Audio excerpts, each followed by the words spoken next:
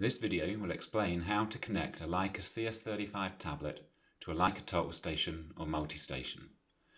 The CS35 can connect to the following instruments.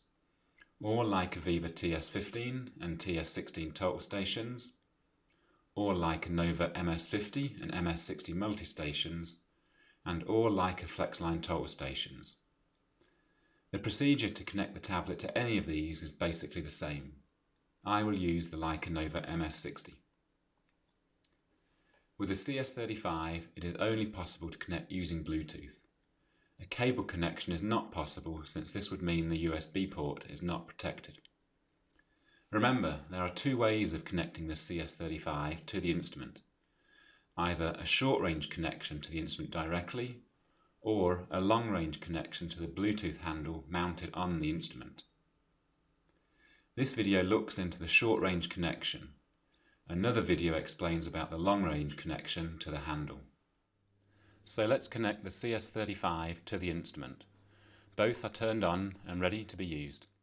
On the instrument, from the home screen, choose Settings, Connections, and then the CS Connection wizard. Choose Leica Captivate, connect using Bluetooth, and then Finish. The instrument is then ready to be found. On the tablet, the Bluetooth connection between the CS35 and MS60 is established within Windows, so we need to return to the Windows desktop. We need to access the Manage Bluetooth Devices panel. Here, all Bluetooth devices which are found in the area are listed. The serial number of the instrument will appear as part of the Bluetooth name. The serial number itself is found inside the battery door of the instrument or in the About panel within Leica Captivate on the instrument. Choose this device and then pair. Enter the passcode of four zeros and then press Next. You will then need to enter the same four zeros on the instrument itself. You will then see the connected status. Return to the Windows desktop and access the device and printers panel. Highlight the device and then from the Connect Using menu, choose Ad hoc Network. A message is shown on the tablet. Before leaving, it is useful to make a shortcut to this device. We can then use this shortcut when we want to reconnect to this instrument. We now return to Leica Captivate. From the home screen, choose Settings, Connections, and then all other connections to access the Connection Settings panel.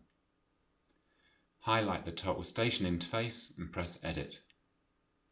In the Connect to Total Station panel, choose MS60 and Bluetooth. Press OK and the connection between Leica Captivate and the instrument will be made. The icon in the status area indicates the connection is being made and then completed. On the instrument, the home screen will change to indicate it is being remotely controlled. We can now start measuring points with the instrument. Imagine it is now the next day and we want to again connect with the same instrument. From the Windows desktop, we can use the shortcut we made earlier. Ensure the instrument is turned on and then tap and hold on the icon and choose Connect Using and then Ad hoc Network. The tablet will connect to the instrument. Start Leica Captivate and the connection within Leica Captivate will immediately work.